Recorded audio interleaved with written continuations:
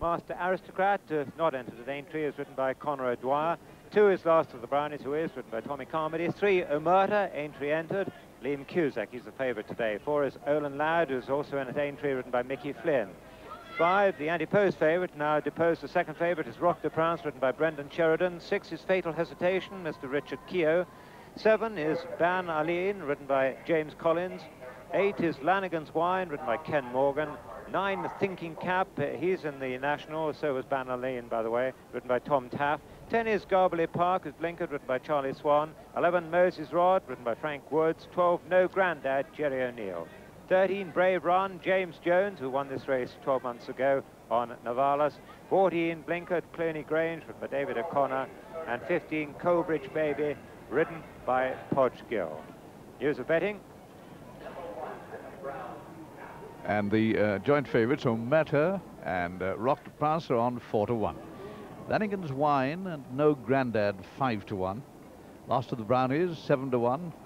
10 to 1 bar 4, bar 5. And it's the two Lehane horses who go off in front of Olin Ladd and Master Aristocrat flying into the first. Master Aristocrat jumps it in front and all of the 15 runners have jumped the first and already they're strung out over about 50 yards with last of the brownies being dropped out right at the back of the field and uh, up front it is Master Aristocrat who so often likes to make the running and he is making it today. Rock de, Rock de France is uh, also quite well up there as they come to jump the first on the far side of the course. Master Aristocrat.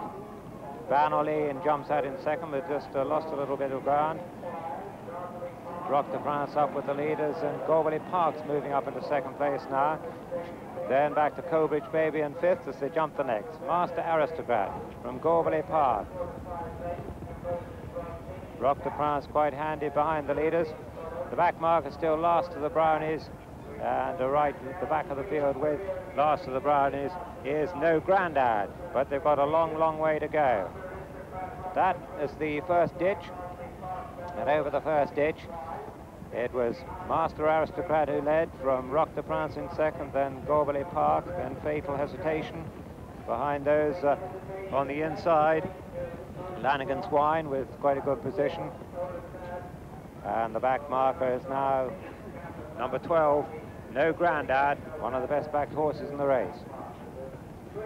Master Aristocrat still disputing it with Rock de France up on the outside and Garbally Park in between those two. Then Brave Run on the outside of Banolan as they come down to the next plain fence and once again the conditions are taking a very considerable turn for the worse. And over that one, Rock de France. Rock, Rock de France, who leads by a length from Master Aristocrat in second, then Garbally Park, Brave Run on the outside of Colbridge Baby, and a mistake there from Cloney Grange, and uh, Thinking Cap has now dropped back to last place as last of the Brownies runs past a few horses. Racing down to what will be the second last next time round and Rock de France jumps it just in front of the top weight Master Aristocrat. Garbally Parks behind these with Colbridge Baby and Brave Run towards the stand side, towards the far side is Olin Ladd, and behind Olin Ladd is Omerta who's made a little bit of ground. But as they come down to the fence before the stands is Rock de France, who's won his last three. Rock de France over from Master Aristocrat. Slight mistake there by Garbally Park. Olin Ladd moves into third place now. And uh, Lanigan's Wine, in fact, moves into third place. Lanigan's Wine in the very pale blue colours there. But as they pass the stands, it's Master Aristocrat Rock de France disputing it with Lanigan's Wine in third. Then Garbally Park. Behind Garbally Park is Brave Run and Omerta. Behind Omerta is Colbridge Baby. Then Orlean. Behind Orlean is Cloney Grange. Then a gap back to Olin's uh, Moses Rod. Behind Moses Rod is Fatal Hesitation, and the two back markers are Thinking Cap and last of the Brownies as the leaders come to the next. Rock de France, and on the far side, Master Aristocrat. Those are the two leaders over it. Thinking Cap's dropped right back to last place now as the leaders take the right-hand sweep and start the run down the hill. Master Aristocrat bowling along in front from Rock de France. Lanigan's Wine is third. In fourth place is Cloney Grange, yet to win his first steeplechase, but well handicapped today. He's got the right sort of weight. Master Aristocrat leads over that by two or three from Rock de France, then Lanigan's Wine, then Cloney Grange, then Moses Rod. Garbally Park's under pressure, as is Omerta behind those. Making a bit of ground behind the leaders is Thinking Cap. And the field going back to last of the Brownies, who's dropped out last now with his 11 stone 30. And Master Aristocrat, the top weight, being joined and passed in the lead again by Rock de France. Lanigan's Wine is third. Fourth is Cloney Grange. Then uh, Moses Rods moved into fifth. The Murder and Garbally Parker behind those, and then Thinking Cap, and then Cobridge Baby as the leaders fly that open ditch.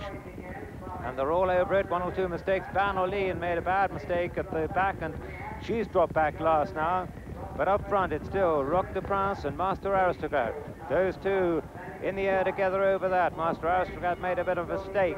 Four or five lengths back, in fact, rather more now, are the next two who are Cloney Grange from the outside of Lanigan's Wine. Then uh, behind those is Moses Rod. Behind Moses Rod is Thinking Cap and Omerta, who's lost a lot of ground, and Cobridge Baby. And on the far side of the course, now Rock de France has stormed into a, an 8-10 length lead. Rock de France aiming for a four-timer here. This fast improving horse comes into the next plain length with a clear lead. but He's a little bit slowed it, and Cloney Grange jumps up into second place beyond the long-time leader, past the long-time leader, Master Aristocrat. Master Aristocrat dropping right back now, and it's Lanigan's Wine, in fact, who's in third. And over that, Rock de France has come right back to his field again. Cloney Grange is second, Lanigan's Wine is third. Moses Rod, the Jim Dreaper stable that's moved into fourth. Master Aristocrat's very, very tired now. And behind is making ground is Thinking Cap. Thinking Cap moves into fifth place, and he's not out of it at all as the leaders jump the last ditch. And Cloney Grange, with 9 stone 11, jumps into the lead. Cloney Grange, ridden by David O'Connor for his father, yet to win his first steeplechase, but he's going strongest of all now as he goes into a two or three length lead from Rock de France.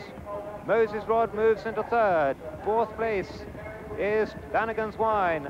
A making ground still behind those is Thinking Cap, and those five are clear as they race down to what will be the fourth last fence. Cloney Grange, the horse who was second to Kerr Villahow in a novice chase not so long ago, and he looked uh, attractively weighted at 9 stone 11. He's got a lead of five or six lengths from Moses Rod, who moves into second place. And they're closing on him now. Lanigan's Wine moving up to dispute second place. In fact, jumps into second, and Moses Rod has fallen at that. Moses Rod is down at that one, and there's another faller just a little bit behind that. I think it's Thinking Cap, who badly interfered with but uh, the faller, principal faller there was Moses Rod as the leaders come now to the third last. And over that it was Cloney Range, Cloney, Cloney Grange rather, who leads by four or five lengths from Lanigan's Wine. Thinking Cap still making ground behind these two. And these three are clear now. Racing round towards the straight with two left to jump, and it's Cloney Grange.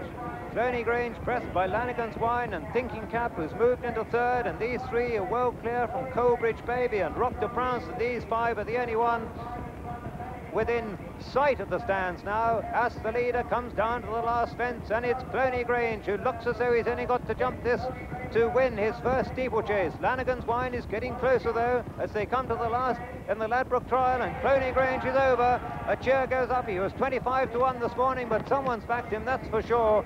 Cloney Grange with the blinkers strides away with his featherweight. Lanigan's Wine is in second place. Thinking Cap runs on in third. But at the line, Cloney Grange springs a surprise in the Ladbroke trial. Second is Lanigan's Wine. Third, a very tired third is Thinking Cap.